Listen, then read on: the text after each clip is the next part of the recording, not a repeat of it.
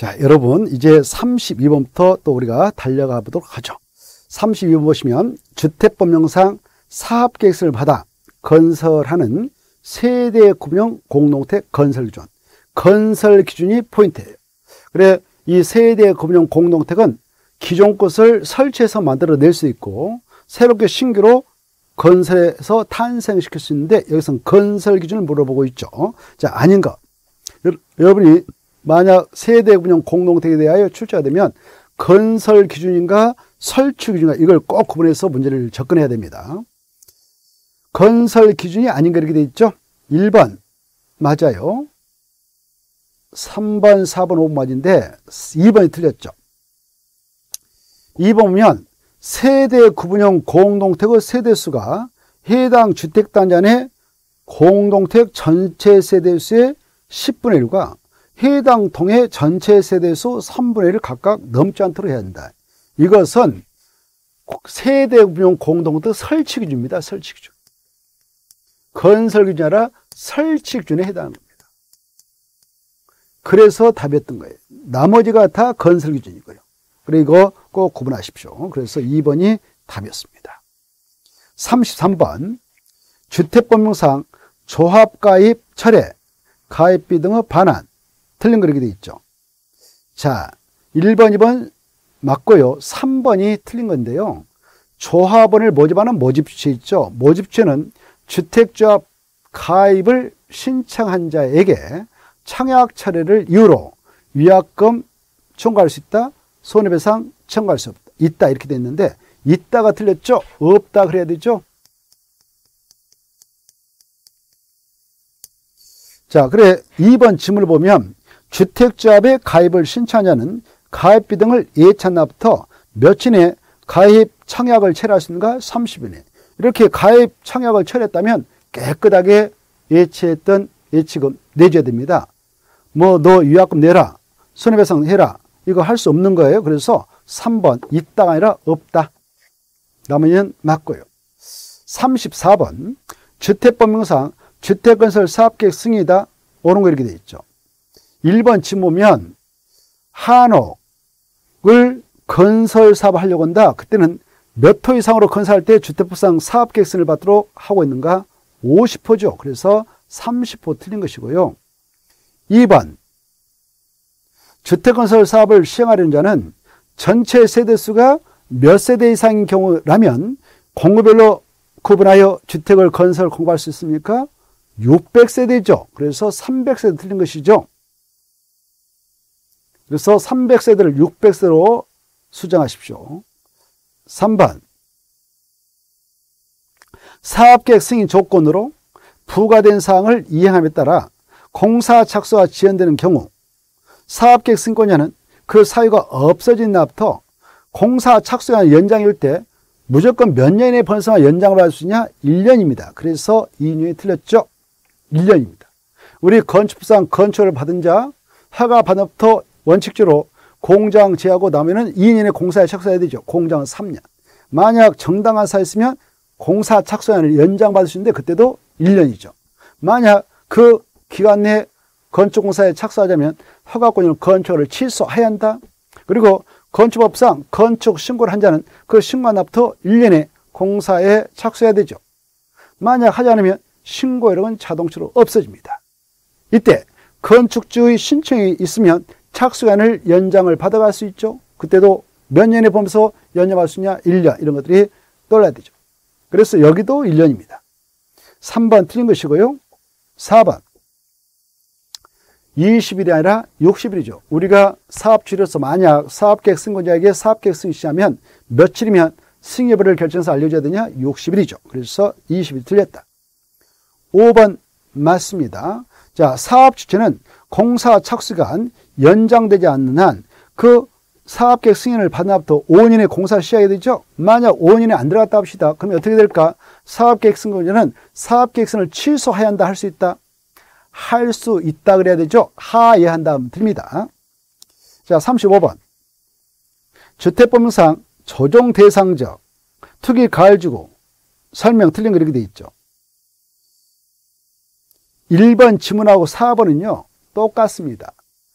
바로 투기 과일주가 됐던 조정 대상적이었던 그 지역을 그대로 지정했던 장소 유지할 것인가 아니면 풀어서 나갈 것인가 라는 재검토는 1년마다 하도록 했던 것을 작년에 개정해서 반기마다 해라 이렇게 뜯어 고쳤으니까 1번 지문 반기마다 맞고요. 4번은 1년마다 틀렸죠. 그래서 1년마다를 반기마다 반기라고 하는 것은 1년이 12개월이다. 그러면 반기는 6개월이 되겠는데 6개월마다 이렇게 하지 말고 반기마다 이렇게 오십시오. 그래서 4번이 틀렸습니다. 남에는 맞고요. 36번 주택법령상 금지되는 주택 공급질서 교란 행위에 해당하지 않는 것. 자, 주택법에 따라 건설 공급되는 주택을 공급받고 싶다 그러면 미리 다섯 가지 증서지를 준비하고 있으면 돼요. 그 증서지 다섯 가지를 먼저 암기하셔야 되죠. 그래, 다섯 가지가 뭐냐? 바로 지역, 직장, 주택 자본의 취희, 그 다음에 주택 상환 사채, 입주자 저축 증서인 주택 청약 종합 저축 증서, 시장에서 구청장이 발행한 그 무허가 건물 증명서, 철거 예정 증명서, 철거 항의서, 공공사업 시행으로 인하여 어, 주택을 공고할 수 있는 지위, 이주 대책 대상자 확인서 이 다섯 가지를 꼭 머리에다 넣어야 돼요. 이런 증서지를 돈 주고 팔아버렸다 그러면 매매죠. 공짜가 예나 터졌다 증여죠. 이거 하지 말라라고 규제합니다. 이런 거 하기 위해서 알선도 하지 말라 이렇게 하고 있죠. 알선이랑 광고도 하지 말라 이렇게 하고 있죠. 그래서 이런 것들은 금지되는 행위다. 그런데 이런 증서지 가지고 계시면 돌아가셔서 자식들이 상속받아 이건 허용합니다. 그대로 그 증서지 가지고 계신 분들이 주택 분양받기 위해서 잔금을 낼 능력이 없다 면 저당 잡고 돈 융통해서 내도록 허용하죠. 그래서 저당은 허용하죠. 이 두 가지는 허용되지만 네 가지는 안 된다. 매매, 증여, 알선, 강공이 안 된다. 이것들이 머릿속에 지나가야 되죠. 자, 그래서 36번 공급질서 교란 행위에 해당하지 않는 것은 3번의 상속이죠. 허용되니까요. 다음은 1번 매매, 2번 증여, 4번 광고, 5번 알선 다 금지되죠. 그 다음에 37번 볼까요? 주택법령상 전매 제한 대상 주택을 공급받은 자의 생업상 사정 등으로 전매가 불가피하다고 인정되는 경우로서 다음 어느 하나에 해당하는 해당하여 한국 토지주택공사 사업자가 공공주택 사업자 또는 그자의 동의를 받은 경우에요. 주택의 전매 제한을 적용하지 않냐고 전매가 허용되는 경우가 있다. 그때 전매를 허용받고 싶으면 한국 토지 주택공사한테 사유 소명에서 동의받아야 돼요. 다만 그 주택을 공급했던 자가 공공주택 사업장의 국주공이다. 그러면 국주한테 동의받아야 돼요. 이때 어떤 사유가 있으면 전매 제한을 받고 있는 주택일지라도 바로 동의받고 전매를 하고 나갈 수가 있느냐? 여덟 가지가 떠나야 되죠?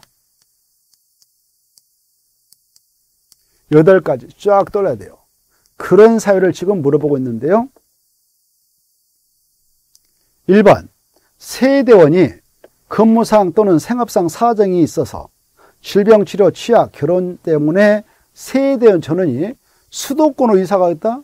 수도권에서 이닥할 때는 그때는 전매를 허용하지 않습니다. 1번의 사유로 바로 전매를 허용받고 싶으면 수도권으로 이전하는 경우를 제한 나머지 이렇게 전 국토가 있다. 수도권이라는 건 서울, 특별, 인천, 경기도잖아요. 수도권이 아닌 다른 광역시, 특별자치, 특별자치도 시군으로 이사가겠다. 그럴 때만 전매를 허용받을 수 있어요. 수도권 안에서 이전할 때는 전매를 허용받지 않습니다. 그래서 1번은 전매 허용 사유이 아니라 전매 금지 사유예요. 수도권에서 이전하니까. 1번 틀렸고요. 2번 맞습니다. 이혼으로 그 어, 어, 입주자로 선정된 지인이 분양권, 주택을 배우자한테 넘겨주는 것은 가능합니다. 3번 주택 소유자가 국가 지자체 금융기관에 돈을 채무를 갚지 못해가지고 이해하지 못해서 그 주택이 경매로 공매로 넘어왔다. 그때 그거 낙찰받고 싶으면 미리 한국 토지 주택공사 이네들한테 가서 동의받아야 돼요. 그러면 바로 전매가 허용되죠. 4번 이 입주로 선된 지라 등 주택 일부를 배우자한테 일부지 전부 증여는 안 되고요. 일부만 배우자한테 증여하는 것은 가능합니다.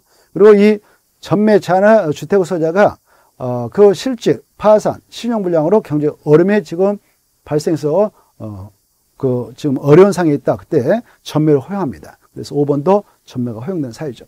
그 외에도 어, 상속받은 주택으로 세대원 저는 이사 가겠다. 그때도 전매가 가능하죠. 그 다음에 세대원 전원이 회의로 이주 가겠다. 그때도 전매가 가능하고 세대원 전원이 회의 가서 몇년 이상 체류를 할 때도 전매가 허용된가 2년 이상 이런 것들이 떠올랐으면 좋겠습니다. 38번 주택법령상 주택 주택법령상에다 포인트 잡아요. 주택법령상 주택법령상 주택은 크게 단독주택과 공동주택 구분되죠. 그래 우리가 주택법령상 주택은 이 주택은 크게 두 가지로 구분되죠. 단독주택, 공동주택.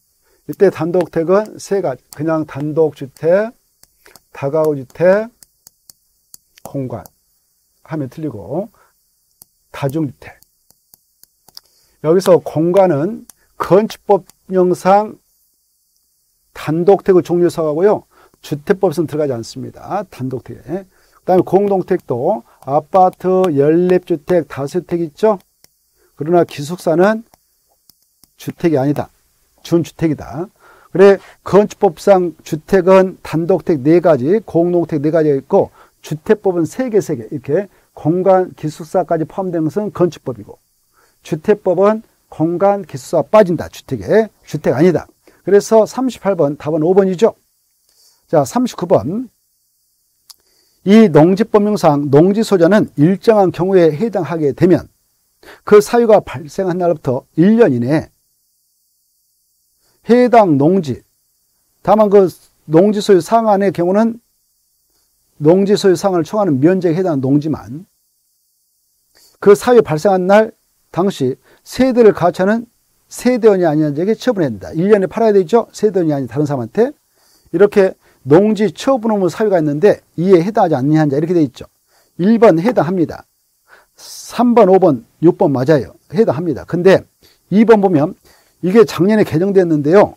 거짓, 부정함 함부로 농지 취득 자격증을 발급받아서 농지를 소유한 것으로 시장구청장한테 인정받았다. 그러면 이 친구는 이렇게 오늘 인정받았다. 농지 취득 자격증명을 거짓 분양으로 발급받아서 농지를 취득한 것이 발각됐어요. 발각되면 너 1년에 그 농지 팔아라. 이렇게 1년 후 기간을 주지 않습니다. 너 1년에 그 농지 처분해. 라고 의무를 가는 게 아니고요. 바로 너 즉시 팔아. 6개월에 빨리 팔아라. 라고 6개월에 농지 처분하도록 명을 내려버립니다.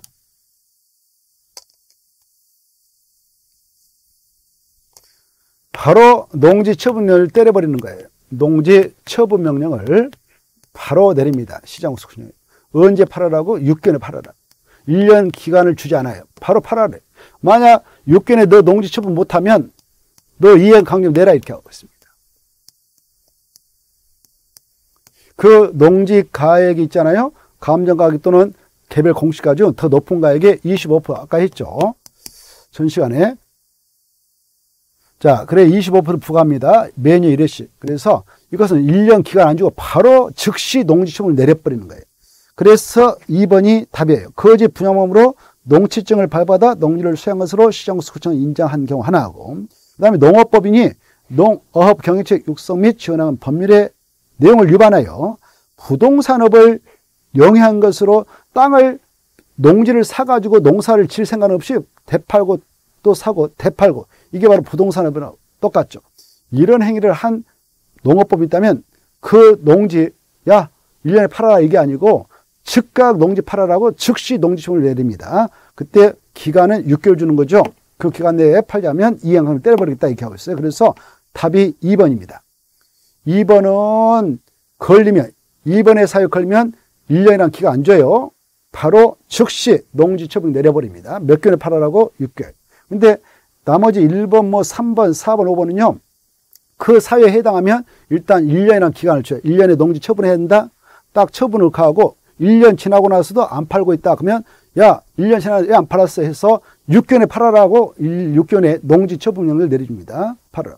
6개월 이내에 그 농지를 처분하지 않다 그러면 그때 이양하면 부과돼. 서로 차이가 있다는 거. 자, 그 다음에 40번. 농지법령상 내용이 다 틀린 거 이렇게 돼 있죠.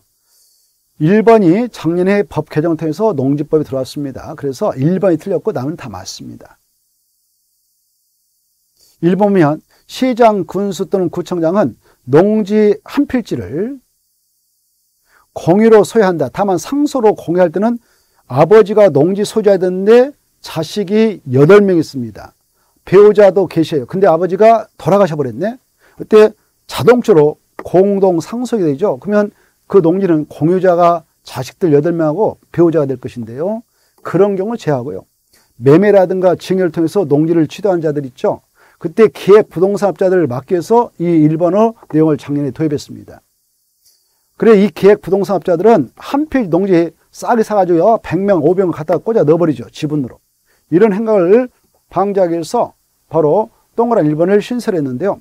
시장, 군수 또는 구청장은 농지 한 필지를 공유로 소유하려는 자의 최대 인원수를 몇 명 이하의 범위에서 시군구 조례를 정하는 데 따라 제한을 할 수 있도록 하고 있냐?